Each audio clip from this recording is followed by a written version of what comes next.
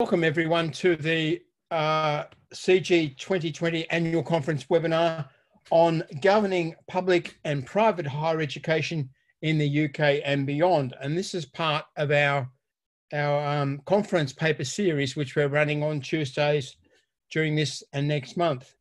Um, we've got two broad topics for you today. The first one is about private higher education, primarily in the UK, although some comparative work has been done during this project.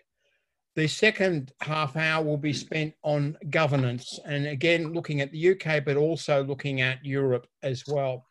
Um, both of these um, presentations are arising out of project work which has been done over a four year period in each case. Uh, and the project's not finished yet, but there's already been one major uh, book out of the governance project and more on the way, and a um, number of articles and papers from both projects.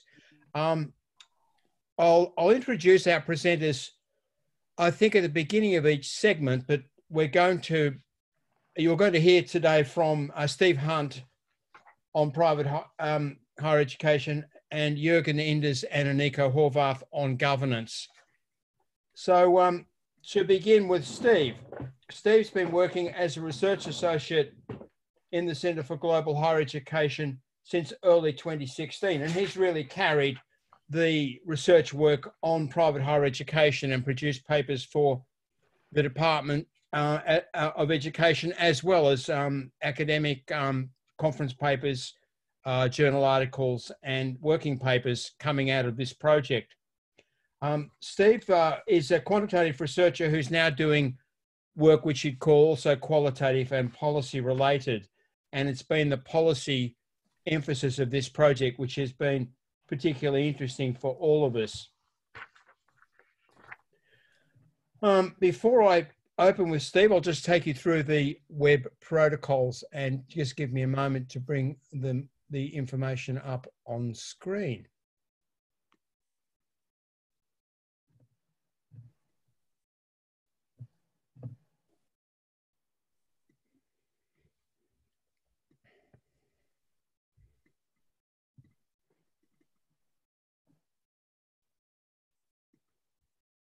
So please note that the um, webinar is being recorded and will be posted online on the CG website soon after the finish of the webinar. It usually takes about 24 hours. A transcript of the chat function um, during the webinar will also be posted as well. Please keep yourself muted unless you have been asked to speak or ask a question.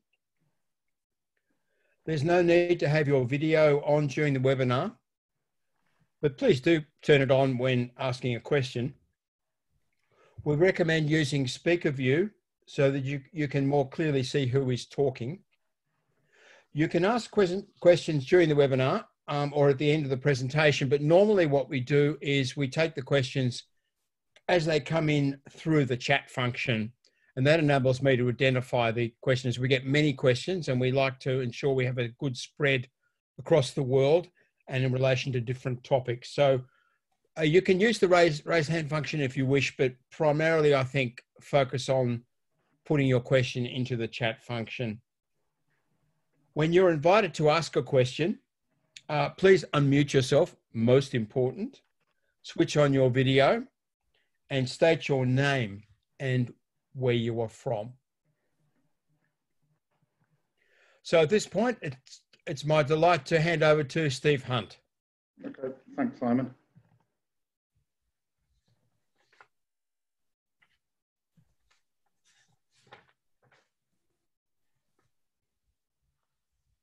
Right, I hope everyone can see my first, first slide. I'll be talking about the private higher education landscape in the UK. Great, thanks.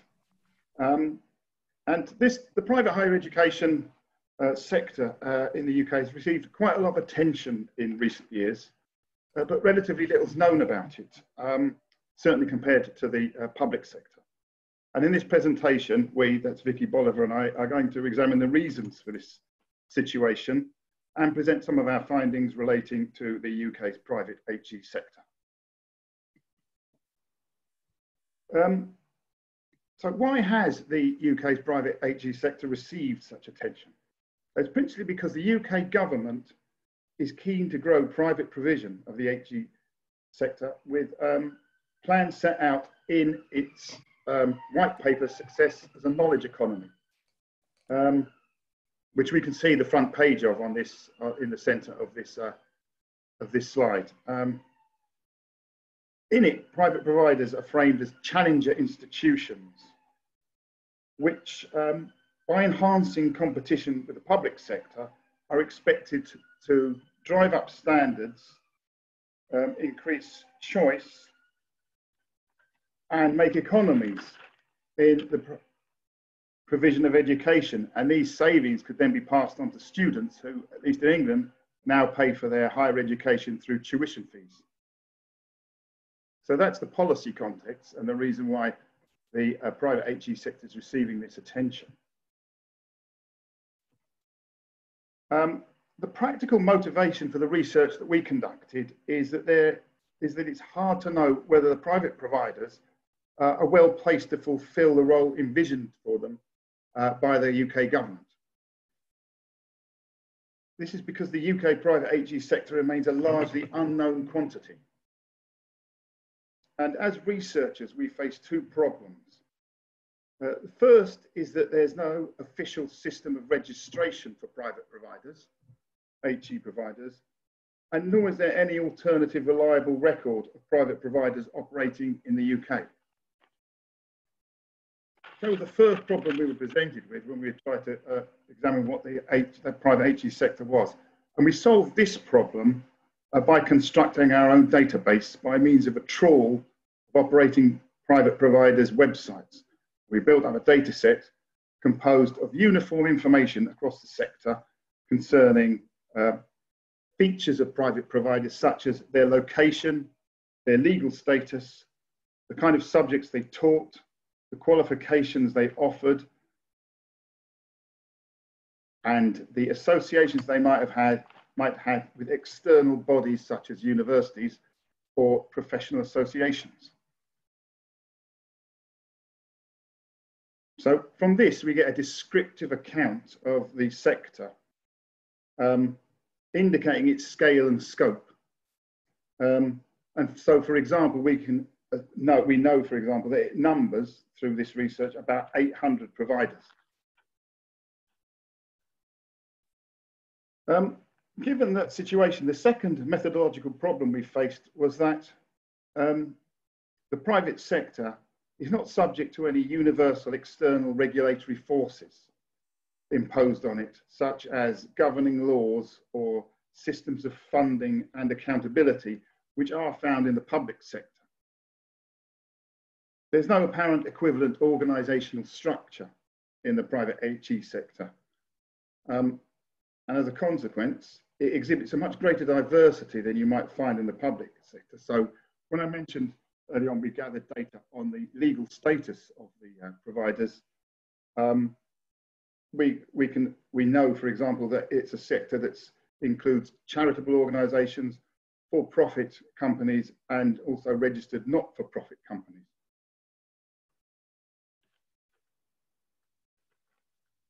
But given this, we only really have access to a series of descriptive frequencies, you know, such as how many are located in particular areas of the UK and with what frequency particular subjects are taught, but no real idea of how the sector is organised.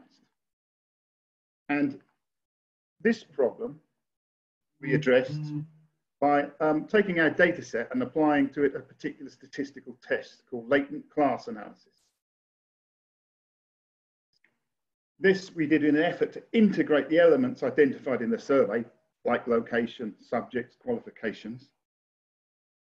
And so we could use that to provide an indication of the structure of the sector in terms of underlying groups of providers based on statistical relationships or communalities um, between the various elements in the database.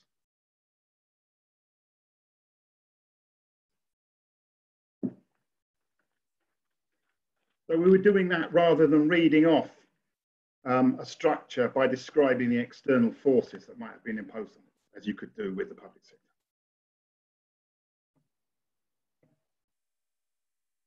Okay, so this isn't a cross of uh, St George. What I'm going to show you here is the results or examples of the results of our analysis.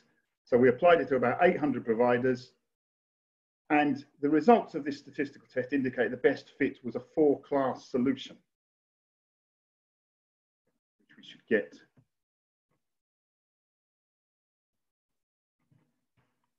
Example of here in the top hand corner. So the first class accounted, in fact, for about 50% of all providers.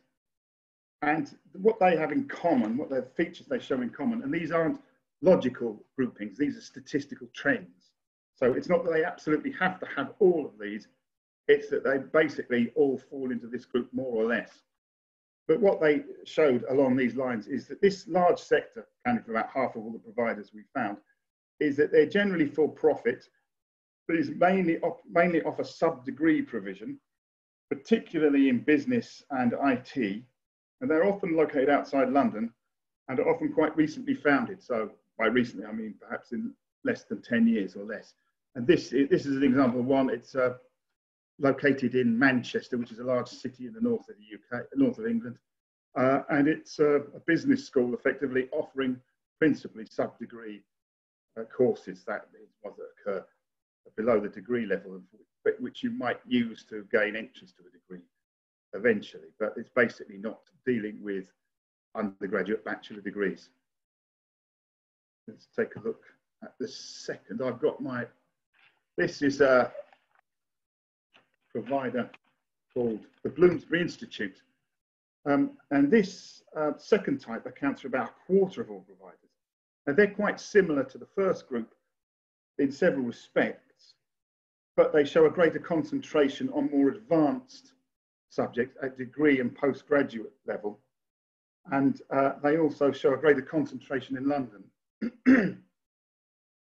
and that's certainly true of the Bloomsbury Institute. And this was recently attempting to apply for degree awarding powers on its way, presumably, to becoming a recognized university. And before I finish, we'll return to the Bloomsbury Institute, so it's worth keeping that in mind. Um, now, let's have a look at the third and we might as well move on also to include the fourth type provider. These basically account for about an eighth of their sample each. And these tend to be not-for-profit and often charitable institutions, particularly in the third group.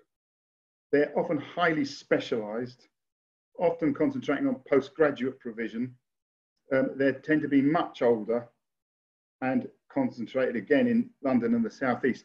The Royal Academy of Arts was founded in 1768, so it's not the case that all uh, private providers are new, um, despite the fact they're often presented as uh, new institutions. The RA belongs to it, and it's a, a long established educational provider, although its intake is absolutely minute. But it offers you an example of the diversity in the sector as well.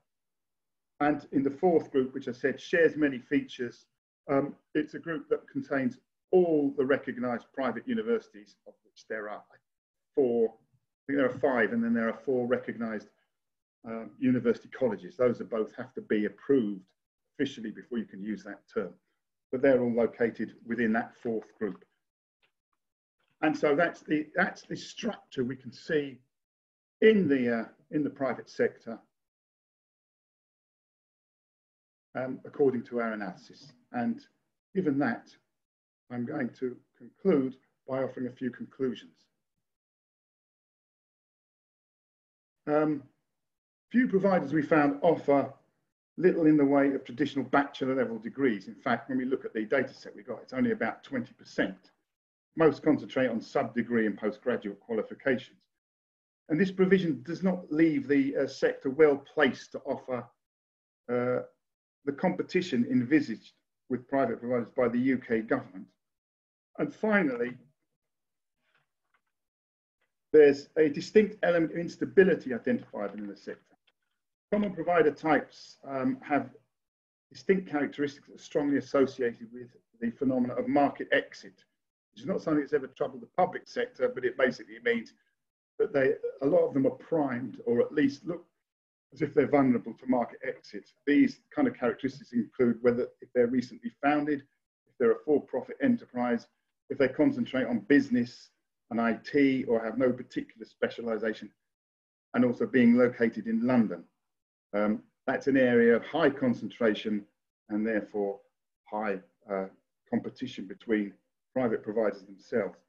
And I mentioned the Bloomsbury Institute, that shares many, several of these.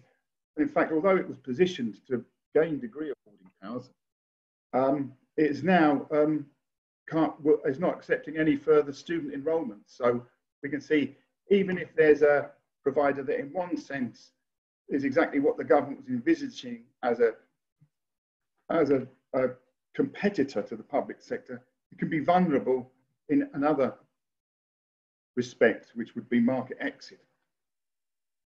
And so many of the providers, even if capable of offering competition with the public sector, are also likely to be inherently unstable. And I'm going to finish there. Thank you. Well, thanks very much, Steve. Um, and that was very informative. Um, I'm going to ask you the you know a question which takes you slightly outside the terms of the presentation, but um, where I think there'd be a lot of interest in your answer. I mean, how does the UK private sector compare to other private sectors around the world? I mean, which other private sectors are similar and which are different, do you think? Well, it's difficult to say. I mean, what I would say is that it's probably, it, in some ways, it's quite, it's unique because it's not subject to much regulation and it's never been very large. What it has been, though, is offered a lot of professional tuition and it reflects the interest of professional bodies that demand um, entry qualifications that were never offered in the public sector because they're not regarded as academic, they're regarded as vocational. So it's a largely vocational sector. I don't, the ones I've looked at, I don't see that there's much comparison with uh, other countries, which often, their private sectors are often composed of um, religious organizations. You know, um, the Catholic Church might be running a series of universities and things like that, but that hasn't been a feature of UK higher education uh, in the private sector. So I'd say it was pretty much on its own there. And in fact, England is pretty much different from the rest of the UK. So it's even, even to that extent, it's, it's different. Thanks, Dave. Um, I'm going to bring in David James now to ask the first question. So David, can you unmute your mic and ask your question? Thank you very much. That's, uh, that's very kind. Uh, thanks for that presentation, Steve. It's really interesting, and greetings to you and to Vikki um, as well. Um, it, from what you were saying, it struck me that a lot of the competition that these uh, these institutions may represent is with the further education sector rather than universities. Uh, a lot of the work is sub degree. As we know, FE colleges do quite a lot of HE work anyway in uh, England, Wales, and Scotland. I just wondered whether whether you'd come across the sort of nature of who they're competing with yet, or if that's something you're interested in looking at it, we are looking now at the FE sector, um, you know, the, the publicly funded one. And you're right, a lot of them are more like FE colleges, but they're very focused and they do have, as I mentioned to Simon, this vocational element. So that's what you really get a concentration on vocational qualifications, very you know, huge amount of business uh, studies. So, mm. and also for people that may have missed out on um, formal qualif- uh, form, uh, graduating from school to another um, uh, education institution immediately and look around for something later in life, not that much later, but you know, a few years where they realise that um, qualifications have become increasingly important as they want to progress.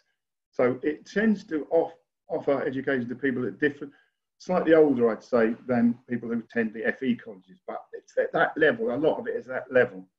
And then there's the other areas that, you know, there's the um, presentation was indicating there are other sectors of the, of the uh, of other parts of the sector, you know, mm. that concentrate on highly specialised, like the architectural school, and the, mm. we saw the um, Royal Academy and things like that. So that's kind of fragmented. It's not all like that, but a great deal of it is is like is like the FE sector, yeah, which of course goes into HE at that kind of level. Okay, thanks, Steve. You've prompted lots of questions from our 100 participants. Um, I'm going to take them in, in this order. Uh, Claire Callender will be next, followed by Nick Hillman, Mike Ratcliffe, and Veranda Call. There are more on the call list, and we'll get to them if we can. So, Claire, can you unmute your mic and ask your question? Thank you. Um, Steve, fascinating stuff. Um, I understand if, from our conversations that your categories, your four categories, were developed through some latent class analysis. Is that correct? Yeah. What, what I'm curious about is where those private providers that uh, whereby they're, they're, they've got students in receipt of student loans, where they fit within your typology. Because, you know, one, one thing about those providers, those whatever, 120 of them or whatever, um, is that we know much more about them because they have to register in comparison to the, you know, to the rest of the ins uh, uh institutions that you've included, uh, the bulk of the institutions you've included in your typology. So I suppose what I want to know is, is there anything distinctive um, about those um, private providers that are in receipt of student loans or the students are receipt of loans, or do they um, are they concentrated in a particular um, typology that you've outlined? Or? Yeah. Well, I can answer that quite directly. They, I didn't mention the student loans, but that was one of the elements that went into the analysis. I just cut, cut it away for you know brevity's sake. But in fact, the, the ones that are in receipt of that uh, belong to the second category, which is the more established for-profit private providers, and the fourth category, which is it has the university, the private university. So the first category was the more recently founded smaller enterprises concentrating on sub-degree, and the second, the, the third category was highly focused charitable organisations, things like that, um, which don't tend to get um, student loans because they're not teaching those kind of courses that are eligible for them. So it's this third, the second and fourth categories you want to look at, and uh, we can go into it later, or you, could, or you can look at um, look at those overheads if you get a chance and see what I'm kind of talking about. Thank you. Thanks. Thank you both. Uh, Nick, Nick Hillman. Thanks, Simon. Um, yeah, and th thanks very much for the presentation and for another excellent uh, one of these webinars. Um, my, my, question, it, it, links actually as well to Mike Ratcliffe's question, is around the role of the Office for Students, because of course the whole point of changing the regulation was to have a, a, a sort of single level playing field uh, for different providers of different types. Uh, but then the Office for Students got rid of the original idea of having a basic registration category um, and my understanding, well, my understanding, and I say this as a governor of the University of Buckingham, my local university, uh, is that there are rather few differences between approved uh, fee cap providers and just uh, uh approved providers. So, in other words, to, to cut to the chase, the new regime was both meant to have sort of clearly defined um, places like the basic category that don't exist, and also sort of hierarchy so that you could become a traditional university. But we've ended up with only two categories, and they're and they're rather similar. So, so I guess my question is, uh, I'd love to know a bit more about how the authors see the Office for Students relationship with this part of the sector. Well, I think to answer, well, not perhaps to answer your question, but to give my opinion on it, is that I, the basic category I think was lost because of a reluctance, which has been marked you know, for, for decades, I can, I've read stuff from the 1960s um, where they're reluctant to take responsibility for um, uh, uh, for those providers that they're not actually sort of financially invested in. So I think that's why the uh, why the uh, basic category vanished. So I think really they're only interested in taking responsibility for providers that they've got no choice about whether to uh, be responsible for and not extending it any further. I believe because they felt that it might be an endorsement for institutions that they felt they couldn't offer any reassurance about. I don't know whether that really answers your question, but if you want to elaborate a bit more. Uh, well, that's very helpful. I, I think uh, Mike's question is quite similar, actually. So I, I, I, think we should move on to him if Simon agrees. Thanks for your courtesy, Nick. Um, Mike, Mike Ratcliffe. Yeah, so I suppose to, to develop that a little, um, I, I, was wondering whether it's possible in your analysis to look in a kind of short term longitudinal sense, because I think those of us who tried counting these things at the end of the HEFCE DFE designated course period, we I worked out there was something like 850 providers that were getting some kind of government registration and and, uh, uh, and look at at that point. And clearly, that's come down to under 400 in the OFS regime, and they do vary. So you've got on the one hand, you've got at least one provider that's minute. I mean, it has like 15 students in it. It's really, really tiny. But then we've also got some big providers which are now outside that regulations uh, framework because they have franchise students and therefore they don't need to directly register with the OFS. And I suppose my original point was that before we could see that BIS and then DFE had kind of a role in promoting new providers uh, not necessarily with the greatest success all the time, but that's certainly not in OFS's patch. And therefore, it's just whether there's something about no one is on doing things. So if you look at the example of uh, the potential provider in Hereford, um, DFE are kind of funding it a bit, but no one is really kind of helping it and developing it. So, so who has that overall sense of what this sector is trying to do and promote it? because ministers have, have kind of stopped talking about it as well, certainly in the way that Jo Johnson did. So it's just that do you get a sense of that overall thing? And do you get a sense of from the data of a longitudinal change say over the last three or four years? Because that number seems to have come down. Yeah well i think you're right about the heat having gone out of it. I, that's what i detected when Jo johnson left it seemed to uh, go off the boil. Um, jo johnson was the minister of uh, higher education for anyone that doesn't know that and he was behind the uh, successes of knowledge economy that I showed the front page of in the slides. But yeah, after that, it didn't. It seemed to lose momentum, and I think you're probably right about the numbers that are going to be finally registered. I talked to DFE, um, and I think they were estimated to be about 120 providers in the end. Uh, private providers are going to be registered under either of those categories, which is just about the same number as are in receipt of um, of student lunch eligible for student tuition fee loans. So I'd, I'd, see it as a sort of ground to a halt. And I don't know whether there is any great momentum behind it anymore. What certainly didn't happen was any great new investment I could detect. Um, some of the institutions changed hands, but I don't really think there's anything, there was nothing founded um, taking advantage of the changes and making um, access to the sector easier for new, new institutions. Well, thanks, Mike, and thanks, Steve. Um, our next question is from Veranda Call. Veranda, are you there? If we don't raise Veranda, I've been sent an anonymous question. Hello, is that Veranda? No. Yes, sir. Ah, there he is. Yes, sir. Am I audible? Yes, please, and please ask your question. Okay, sir. Very warm greetings to all. In fact, uh, I was wondering about the private service providers across the globe because this post-COVID situation uh, is an alarming situation and should we still think in the uh, micro cost term India, in fact, I'm from India, sir. I served Punjab Agriculture University and presently I'm serving as a professor in one of the private university, lovely professional university.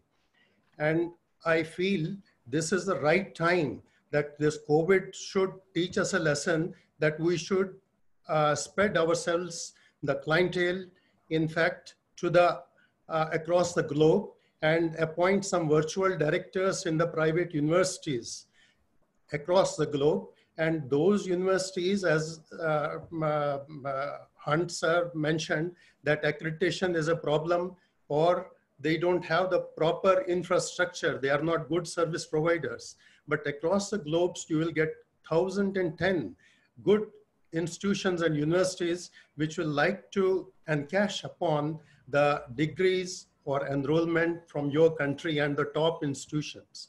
So my sincere request is that let us think the world as one, the whole student uh, platform as one of the globe, and provide them the affordable uh, education near to their home.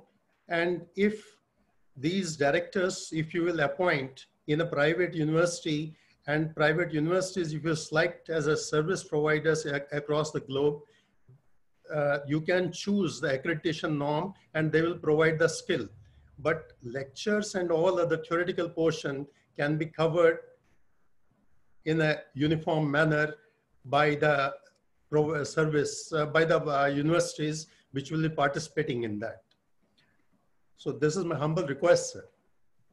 Well, I've got a feeling that COVID might propel institutions already well established to extend their um, their online provision, so they might be bringing competition to um, providers that were innovative and do have a have the technical skills to deliver it as a deliver classes virtually, but uh, the, the larger institutions are primed now to do that, and that might become a, a more standard feature, and they could expand across the globe um, using, you know, the, the prestige they've already built up and to deliver stuff at a fraction of the cost that face-to-face tuition would involve.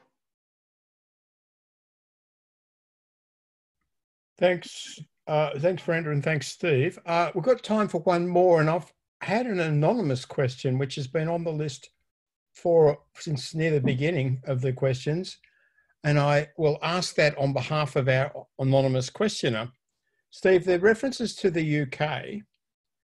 What is your view on private institutions implementing the Higher Education Act in order to reject appeals from students regarding academic judgment? Furthermore, what is your view on higher education providers using marketing style tactics to get students from all over the world before examination results are released by giving them a conditional contract. Don't you think this is binding students to a contract, leaving them in a tough situation if they fail? Uh, End of question. Well, it, although it's not really something that's an issue in the private sector. I mean, they're, they're primed to take whoever meets their standards and they, they then can be quite variable. So I think it probably would leave, the, but it'll leave the universities in, in a position where they have to make up the numbers if the students fail. So that cuts both ways. And what was the first? What was the first part of that question? About uh, rejecting appeals from students regarding academic judgment. Yeah, I don't really. That hasn't really featured. I've got to say, one deficiency in our study is the lack of uh, data on students. So it, those kind of issues don't really feature in what we've done. Sorry to go out on a negative point, but it's impossible to get student numbers from the institutions we looked at unless they're receiving uh, student tuition fee loans. Uh, sorry about that. Uh, Steve, look, thanks very much. I mean, I think that you've answered the questions really well, and uh, and we're very grateful to you for your presentation. Um, there's uh, been a number of questions we haven't had time to deal with. I mean, John Anker, Helen Carasso, Rob Cuthbert, and others have, have raised interesting questions, which you might address in the chat if you can. Um, yeah. But we better move, I think, to our governance section of our presentations today. So thank you, Steve, and uh, we welcome you uh, coming back as you know when you've got more from your project. Okay. Now, I'd like at this point to move across to our other colleagues, Jürgen Enders and Aniko Horvath. They're producing an impressive set of results uh, on governance and changes in governance in higher education in the UK and Europe. Uh, Jürgen is um, a professor of higher education management at Bath, uh, and Aniko works as the postdoc researcher attached to the governance project and has conducted a lot of the interviews in this program.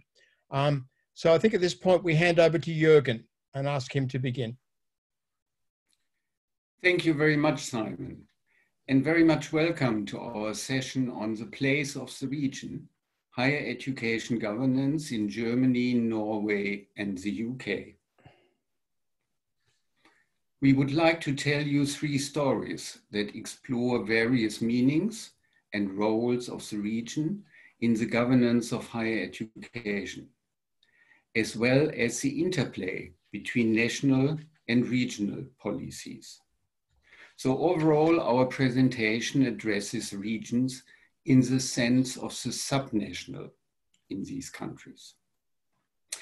Our interview-based study has also led us to think about the implications of this interplay between the national and the regional for the higher education landscape and individual institutions in this landscape.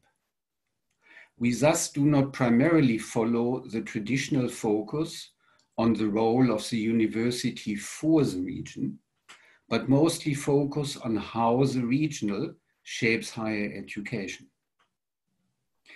This perspective is inspired by our experience within the CGHE project on the governance of higher education in the UK and Europe. And the inspiration, of course, of Michael Shattock, who is leading this project and has recently published an important book, as Simon already mentioned, together with Aniko, on governance in higher education in the UK. The project allowed us to undertake 135 interviews with policymakers, university leaders, academics, and student representatives. For this presentation, we looked at interviews in Germany, Norway, and the UK. We did further interviews in Hungary and Portugal that we do not use today to reduce complexity for the purpose of a 15 minute presentation. This slide is just illustrating what we found in our interview data based on an overall word count. Obviously, words like university, student, or research appeared most frequently in our interviews. Regional appeared, somewhat to our surprise, more frequently than national, and much more frequently than global. So moving on, our first story addresses Germany, being a federal country a natural case for the study of the place of the region in higher education governance. In Germany, all states have their own parliaments, governments, ministries, and the states have in fact a prime responsibility for the regulation and funding of higher education.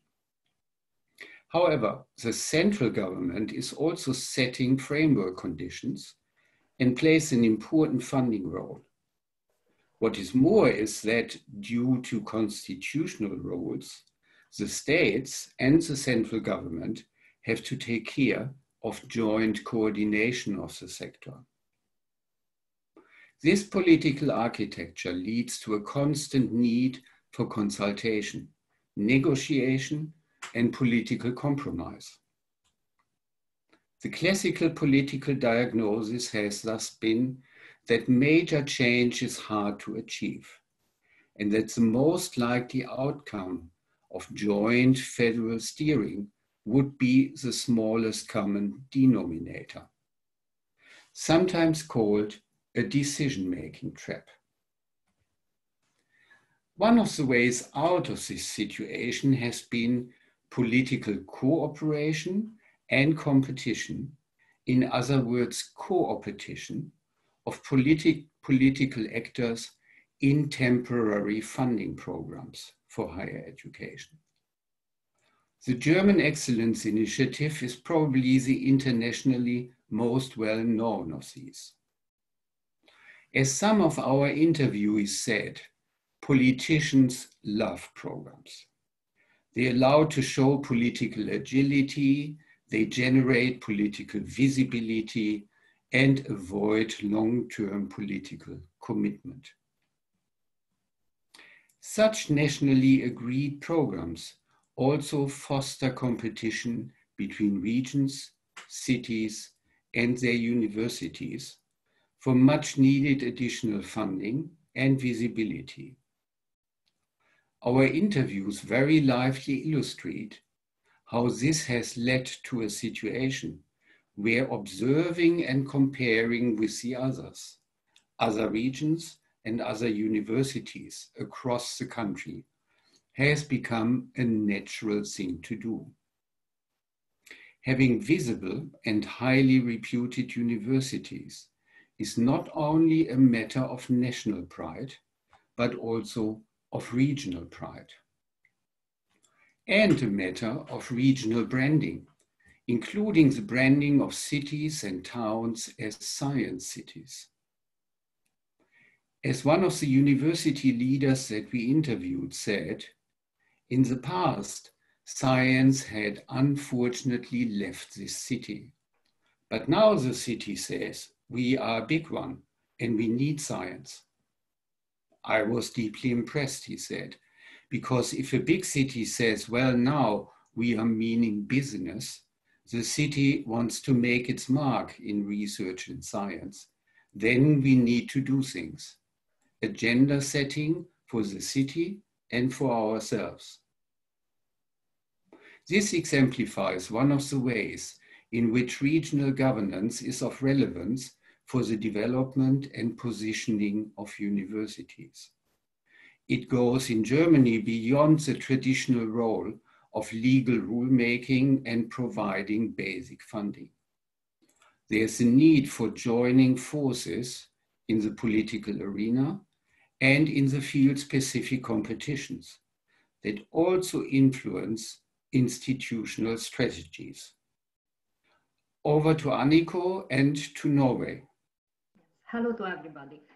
Um, historically, and as a response to Norway's geography, a binary system of higher education was established in the country, with universities and university colleges developing in parallel.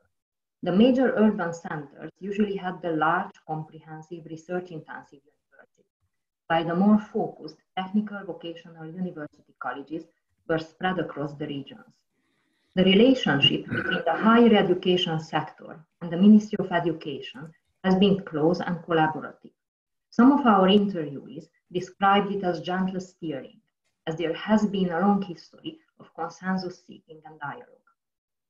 While there have been a series of major reforms across the sector over the past two decades, the 2014 structural reform led to the establishing of several new, smaller universities that aim to develop distinctive teaching and research profiles. These changes also ended the dominance of the traditional binary divide. One of our case studies, a newly merged university with campuses across a larger region, highlights well how these new universities are in the process of active placemaking. However, at the same time, because of competitive pressures, they must also delineate their relation to national comparators as well as to the global higher education sector. Our findings show that during this placemaking, intra and extra institutional group making frequently occurs and most mm-hmm. often is framed in regional cultural terms. First, there is a power struggle among the institution's merged colleges, where different academic units often frame their claims based on their micro-regional identity. Second, to keep the support of regional industry and administration, there is an attempt to develop a broader regional identity and link institutional branding to that.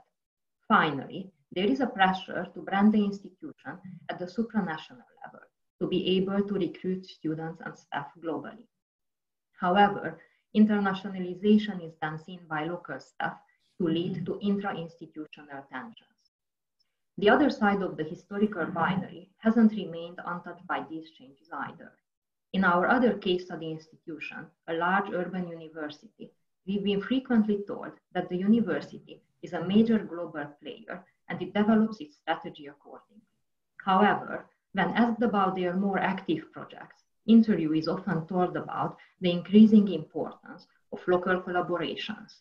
As one of our interviewees put it, Staff and students are doing city development projects. This shows the increased interaction with the envi environment around us. Nevertheless, our data also shows the fragility of such a political consensus and the risk institutions take when they adjust their strategies to changes in regulatory frameworks. Currently, there is an ongoing regions debate in Norway, aiming to reorganize the municipalities. Many of our interviewees suggested that these municipal reforms will not leave the higher education sector untouched. As a board member in the regional university put it, these new regions are supposed to mirror the labor market. So it was argued that it might be a good idea that we have a large university in our region, as it is good for regional competitiveness. However, with the push for becoming a university, became the increasing pressure to change our programs to serve the needs of this new region. Now over to the United Uh, as the most recent developments in the United Kingdom student admission debate show, the 1998 devolution of social, health, and economic functions to the home countries is very much an ongoing political experiment. Thus, a three minutes discussion of the issue cannot do justice to the topic. It can only attempt to highlight a few major points.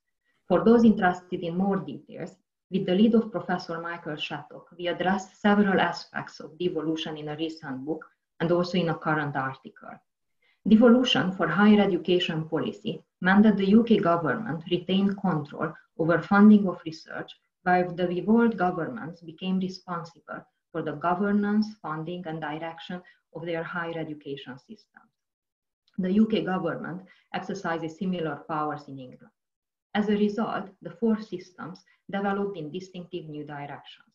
Scotland decided to have no tuition fees for Scottish and EU students, but this meant that restrictions on student numbers remained all Scottish universities are required to be research active. This means that there is a much greater cohesion of the university system and there is a higher degree of collegiality. Wales adopted a tertiary education system with FE colleges joining universities. To adapt to a declining industrial landscape, a series of institutional mergers have been initiated. However, this happened in consultation with the sector, not by major force imposed by the Welsh Assembly. In Northern Ireland, there has been a political stalemate for a long period, leading to reductions in funding and matching reductions in. England embarked on a policy of governance via the market, introduced higher tuition fees, removed restrictions on student numbers, replaced the funding council with the Office for Students, and encouraged the expansion of private providers. In the following, I want to further reflect a bit on the outcomes of devolution for England devolution has often been presented as something that the others, the Scottish, the Welsh, the Northern Irish want, that they are the ones that benefit from it. And indeed, our data shows that our interviewees across these devolved regions do believe that devolution is good and it works for them. At the same time, from our data, it is also clear that England is the real outlier. England would not have introduced its marketization reforms in a non-devolved UK system as the other nations would have strongly opposed this type of marketization. However, given the number of the cities of the current English system, it is justified to ask whether England really benefited by being able to act without the counterbalances of Scotland, Wales, and Northern Ireland. I started the discussion of the UK by saying that devolution is a political experiment which, despite the 22 years that have passed since its introduction, has not been necessarily strongly institutionalized and the recent debate around the Westminster government imposing a cap on the number of English students that can be admitted by Scottish, Welsh, and Northern Irish universities highlights well how fragile this settlement can be and how strong it has been overshadowed by existing power imbalances. Back to Jürgen now. Um, please move the PowerPoint on, Aniko. Yes, sorry. Right. So, in conclusion, our research points at a variety of ways in which the role of the subnational in the struggle for political ownership unfolds. It points at processes in which the role of the region is affirmed, sometimes challenged and reconstructed.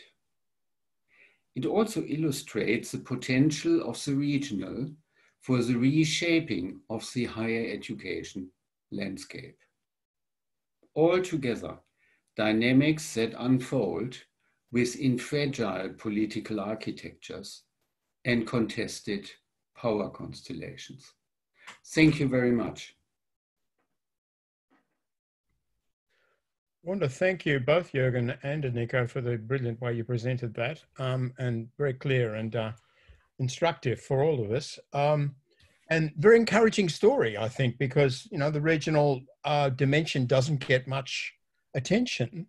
Um, national politics gets all the oxygen, doesn't it, in every country, and yet this story of regional embeddedness is not only very encouraging um, for the sector, but it's also a way forward in terms of developing the sector further.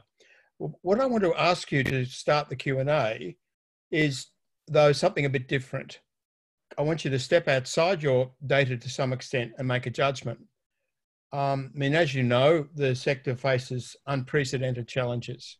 Um, the challenge of managing um, delivery under conditions of COVID 19, um, the challenge of communicating in an honest and effective way with students, in the, given the uncertainties that everyone faces at present, and the great challenge of financial sustainability, which is in every country is going to matter, but it's going to matter in more in some than others. But it's certainly coming with a rush in the next 12 months or so.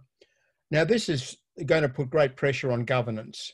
Now, of your three countries, the UK, Norway, and Germany, which of them do you think is best equipped to manage these challenges effectively in terms of their governance systems and structures? Um, Simon, do you mean external governance or internal? I really, I'm really thinking about what you're you're thinking about. That is the relationships. You know. Okay. okay. So I, my hunch, you know, we have to be careful here. You know that as social scientists, we basically know nothing about the future, right? Exactly. Uh, but my hunch is that Germany and Norway will cope better than the UK, especially England. Um, why would that be so? Um, I think Germany has, with all the problems this kind of joint decision making has, um, a very solid, stable funding infrastructure and culture. And Norway is a rich country um, where people also join forces to try to manage such a crisis situation. I don't think that the same can be said to the same extent about the UK and England. Yes, just to add a bit to that. So there is one other aspect which I think that will help the Norwegian system, for example, compared to that which we have, for example, in the UK. And it's the flexibility students have to move in and out in higher education and also to move across institutions. And um, in the past few years, it was seen as a disadvantage, and there was some external pressure for universities to change that. So, for example, the funding structure was changed, and part of the block funding now comes for graduation numbers to universities. But it's still a smaller amount. So I think it's around 25, 30% of their budget, which comes for the graduated number of students, which means that under the current circumstances, regional universities, for example, can pick up a lot of the needs without students having to, having to, to do major changes to their life or lifestyles. Uh, they can offer uh, a much more uh, flexible subject area many more programs targeted or, or designed for, for shorter participation. So I think that, that in that respect also the Norwegian system might be able to cope currently better with, with what's happening. Well, thank you both. That's most interesting. Um, I'm going to bring in Futao Huang in Hiroshima in Japan to ask the first question. Thank you very much. And a very interesting uh, talk. And Norman, can, can you hear me? Yes, Peter. Uh, yeah, um, uh, yeah, very interesting to talk. And uh, my question is very simple because compared to many European country, countries, and it seems that uh, university students uh, less participate in uh, governance arrangements, especially at the institu institution level. So my question is, based on your research, that is results of interviews in the three countries, and are there any difference in students' uh, participate, participation in university governance uh, arrangements between the three ca cases? Thank you. Uh, for, for, for the UK and Norway, um, I would say that it's very interesting that if you look at the formal structures, they often can see quite similar. So it's a similar type of uh, representation in the UK. The students have a big role now in, in uh, uh, in universities. So they are sitting at the table, they are consulted regularly by the leadership of the university, and it's similar to some degree in Norway. However, for example, in Norway, there is a parallel system, which I haven't seen in any of the countries where I conducted research, which is an organization called the Student Welfare Organization, which is completely parallel to any of the university systems. It's, uh, it's uh, secured by law and it's responsible for all things that are, are related to student welfare. So housing, uh, mental health provision, uh, childcare provision, um, all the types of things uh, uh, that, that they, they might need. And I think that under the current circumstances, because they have a separate budget, which is quite big, and it can be increased, uh, and they have the possibility to uh, build up savings, for example, and, and help students when they are in need, they could, for example, respond much, uh, much better to, to needs that arise uh, and much quickly, possibly, than, than in other countries. Uh, on the other hand, students in, in both of these countries can, can have a, decisive argument on how universities are run, or, for example, courses how are changed. So, student unions in both countries are, are responsible for that type of uh, of participation. Jürgen in Germany. Hmm. No, I, let's leave it like that. Mm -hmm. Well, thank you both. Um, and thank you, Futao, for the question. David Law is the next question. Thank you, Simon. Um, I'd like to reflect a little on uh, 50 years in higher education. I've retired now. Um, one of the things that was very striking about uh, English universities uh, in the late 60s was that so few students lived at home and so many students didn't come from the region where the university was located. Uh, now, retiring just a few years ago, things have changed a lot. And that has been accompanied, I think, by a change in, in English higher education by being less provider led and more concerned about relationships with consumers of all kinds. So my question is, is really what difference does it make when students are to quite a large extent, at least in some universities, uh, home-based students, when their impact on the university is a transmission of the interests of the region through to the university's governance structures, strategy in particular. Hmm. I mean, sticking to the framework of our project, if I would compare that to Germany, where the traditional picture is what you say we're having more now in England. So students are home based, they live at Hotel Mama, and there's very little campus accommodation. There is, in fact, and I think that's the main issue, very little organizational responsibility for what are supposed to be adult learners who look after themselves. And I think, in my point of view, you know, that would then be a, quite a cultural shift um, from a system where you would say that traditionally universities have been much more of um, in place of the parents to look after the kids. Um, so it will be interesting to see how this develops. Yeah. Um, in Norway, they have a mixed system, and it's again linked to the flexibility which traditionally the system developed. So you have, on the one hand, the student population's average age is much higher. So, for example, at the regional university where we interviewed, I think it was 27 years, the average age for the students, and in, in the other university, the urban university, it was even higher. Uh, so it means that the groups have a very different approach. For example, the student, student union looks very differently. So for example, one of the members of the students unions in the regional university was 80 something years old. So the questions, and there are many other people who come back to education. So it means that, that the questions that are posed around this are very different. But also in England, for example, uh, when we did the interviews, we've done several types of universities, and it seems that there is a huge variety between the experiences universities can have. So some of the universities we interviewed that have very local and very, very uh, uh, small region uh, where the students are coming from. And that very strongly pushes the university to have a different strategy, to think about how they serve the region, how they engage with the region. So I think that England is changing a lot in that respect as well. We have a note from Claire Callender saying that uh, the proportion of students living at home while studying in the past 20 years has scarcely changed. About 22% hmm. um, live at home or at hotel mama, as, uh, as Jürgen put it. Um, we've got time for one more question, and it's going to come from someone who's already um, asked a question today, but in the previous session, that's Mike Ratcliffe. Sorry to bore you all again.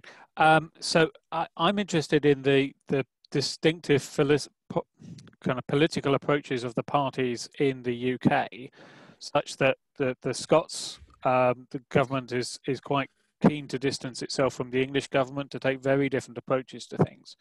And I, I wonder how, and, and the, the, clear manifestation of that is in student tuition fees for undergraduates, where the Scots take a very clear view and you know, put up a boulder saying that you know they it'll always be free in Scotland. I, I just wondered whether it's as marked in Norway and Germany the difference between the political parties looking after the the subnational devolved systems, because I think that's probably promoted more difference between the Scots and the English, and therefore pulled UK higher education apart more than I think if we hadn't had that political dichotomy between those two parties wanting to, to kind of put themselves in different political space on a on the only issue that seems to matter to the electorate, which is um, tuition fees for the mobile undergraduates. Very interestingly, in Germany, just in in Norway, um, there was a consensus across political parties in relation to higher education and what kind of changes are needed in higher education. What's interesting that now with the um, with the plans to reorganize the municipalities, the local the local regions, there is no consensus uh, anymore, and it's going to impact on higher education. So indirectly, uh, political fractions might actually uh, reshape higher education and what institutions can do. But in terms of higher education policy and approaches, what to do with higher education, there was there was a quite a broad consensus across society and across political parties. Um, as regards the German situation, there are two answers to that. Um, they both point into the same direction of having less divergence than you described it. The first is constitutional.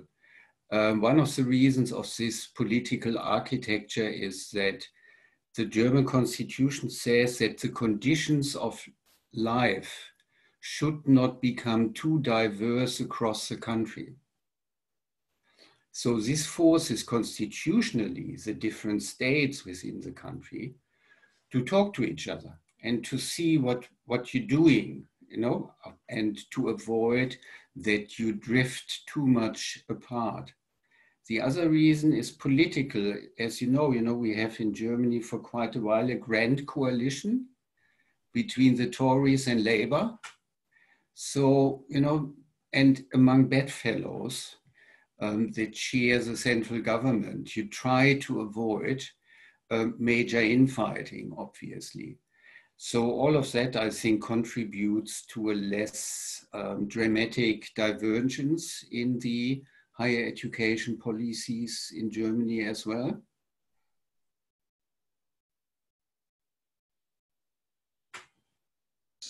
At this point, I'm afraid we're going to have to close um, the video and audio part of the uh, of the session.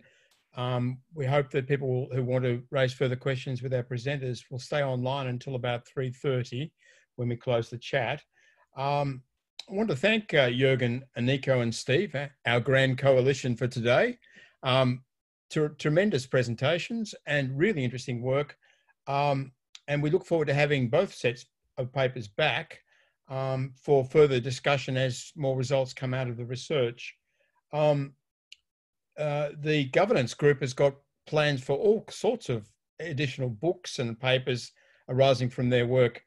Um, that's it for today, but we have uh, a further um, session from our CG conference uh, papers next Tuesday.